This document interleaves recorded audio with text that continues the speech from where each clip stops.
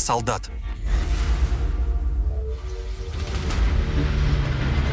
Эту войну мы проиграем.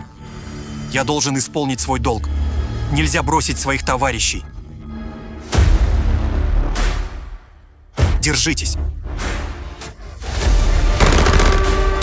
Хорошей стороны больше нет. Есть выжившие и погибшие.